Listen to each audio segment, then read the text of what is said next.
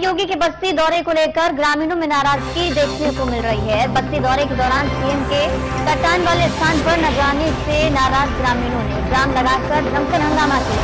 योगी के काफिले को रोकने का प्रयास किया गया। सीएम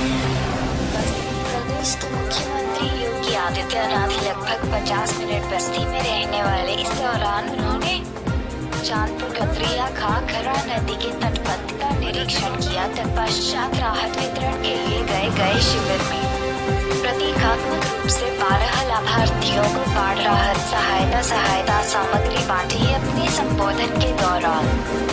उन्होंने कहा कि जरूरतमंद सरकार की योजनाओं का लाभ हर हाल में मिलना चाहिए। हमारी सरकार ने ऐसी व्यवस्था की है कि बाढ़ से मध्य ग्रामीण चौबीस घंटे के भीतर सामग्री जानी चाहिए पावर क्राइसिस से निपटने के लिए ज़िले के गौतम। विधानसभा में पावर हाउस के निर्माण के लिए मंत्रिपरिषद की मंजूरी देने की बात कही इसके कार्यकारी भार ग्रहण करने के तुरंत बाद मोटवा चीनी मिल के निर्माण की मंजूरी देने की वकालत कर रहे थे। कहा कि इससे पहले कि किसानों को लाभ मिलेगा सरकार समाज के अंतिम व्यक्ति तक लाभ पहुँचाने को तत्पर है। मुख्यमंत्री के। से सभा स्थल तक गोरक्षनाथ के क्षेत्रीय उपाध्यक्ष अजय सिंह गौतम की लंबाई गुफ्ते को चर्चा का विषय बना रहा है। ऑनलाइन बीच प्रशासन अनदेखी का आरोप।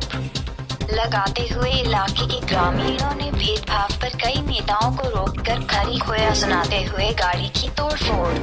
की इलाके में योगी आदित्यनाथ के राहत सामग्री वितरण कर जाने के आसपास के ग्रामीणों ने जमकर बवाल कटा।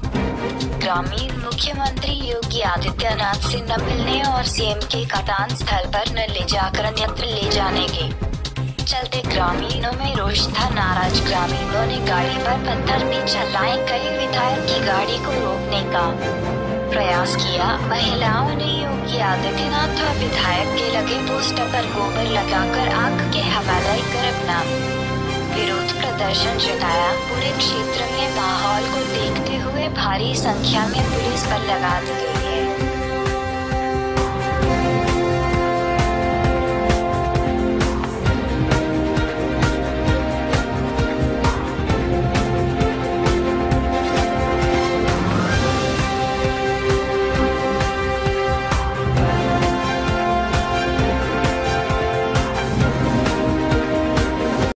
दुनिया की खबरों के लिए world media times news channel को सब्सक्राइब